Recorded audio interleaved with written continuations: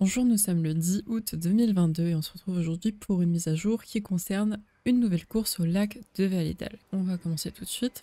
Ce sera une course du coup qui sera disponible quotidiennement euh, au même titre que l'autre course qu'il y avait déjà de disponible à Valédal. La course rapporte 250 d'XP à chaque fois qu'on la refait. Bon là pour la première fois qu'on l'a fait on gagne que 150 d'XP d'ailleurs j'ai pas compris pourquoi ils en donnaient aussi peu mais pour les prochaines fois ce sera 250. On fait ça ensemble.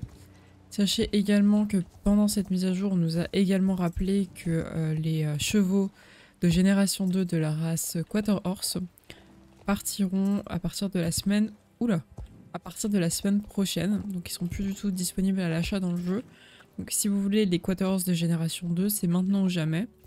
Après cette mise à jour, du coup, ils disparaîtront. Donc euh, n'hésitez surtout pas si vous aviez envie bah, d'en acheter un d'entre eux. Sachant qu'ils vont totalement disparaître du jeu la semaine prochaine. Hein. Ça change un petit peu le, la course là de cross-country, c'est pas mal.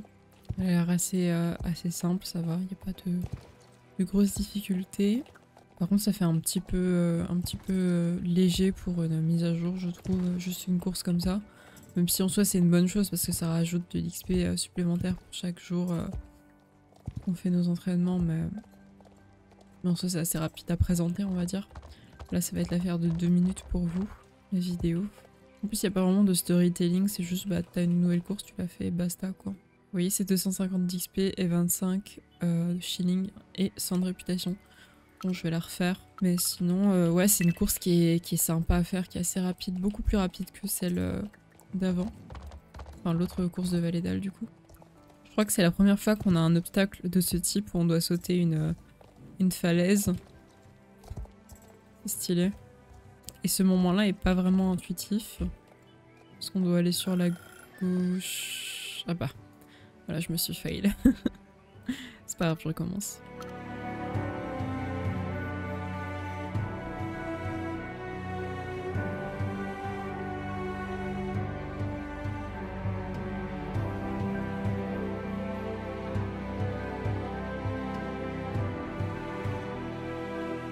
Et voilà.